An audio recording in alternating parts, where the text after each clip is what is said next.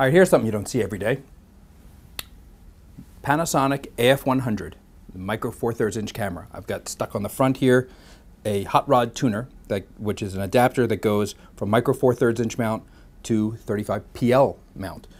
And then on the front of that is something that's exclusive to AbelCineTech. This is the HDX2 B4 to PL optical adapter. What does that do? It lets you take a 2 thirds inch lens and it will project the image onto the AF100. It's actually sort of doubling the image size. So this particular lens is a 7.6 to uh, 133.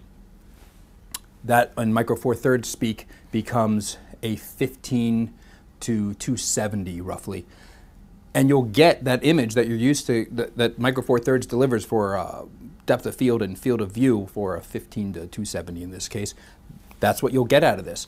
And the HDX2 is specifically designed to do this sort of work. It was actually originally designed for uh, use on our Phantom cameras for the Flex and the V640, so that you will the lens these lenses would cover the 1920 by 1080 image area, and you'd be able to shoot on those cameras like 2,500 frames a second at that frame.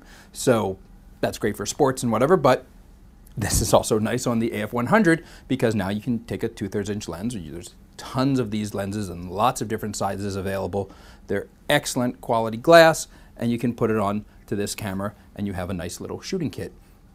We had to accessorize some. So we put a battery back here that can you can power the camera off of it, but in addition with a little cable that will make, you'll be able to power the lens so you, your zoom will work. And as well it will also connect to the camera so that the run stop trigger right here will actually run stop the camera.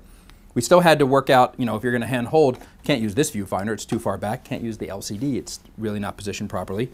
So we have the Cineroid EVF viewfinder, which pairs really well with this camera. I mean, it has a one-to-one zoom focus uh, control in here that you don't even have available in the camera, so it actually really enhances its use. But it also makes this system work because it, you're now not locked to the body of the camera in any way. This viewfinder can go anywhere. And in this case, moved it on the, clamped it to the rods and moved it pretty far forward. Doesn't block the lens. You still have total control of the lens here. But now you can get your head where you want it and balance the whole system. You're really balancing the lens to the battery and the camera is the sort of focal point of the, the teeter-totter, if you will. So it might look odd at first, but it's actually extremely comfortable. The whole thing, first off, weighs nothing You can pop it right up on my shoulder. I'm not going to use that hand grip. In fact, I could take this off and put a nanoFlash if you want to record that way. I'm going to use this one, the way you would hold a 2 thirds inch camera.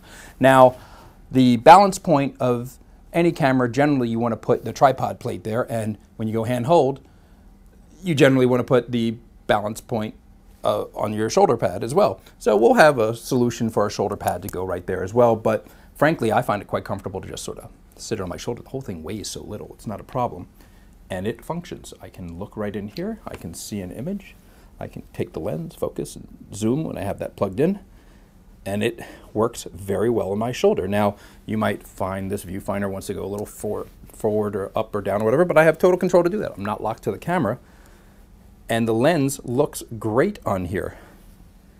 Why would I do this? Well, this is a very inexpensive system compared to some two-thirds inch cameras, most two-thirds inch cameras that are available. Also, these lenses are great glass and they're very available. So you have a lot of ability that you can compile together here. A lot of people already own parts to this. You might own two-thirds inch lenses and want to be able to make them work with this camera. And in addition, now with this whole setup, you've got a two-thirds inch lens that delivers that four thirds inch depth of field, which everybody's into that shallower depth of field. And this camera is 1920 by 1080 and can shoot 60p in a relatively small form factor, lightweight, easily hand holdable, and relatively inexpensive as well. So we're tweaking it, but it's a pretty interesting concept with things only available here exclusively from AbelCineTech.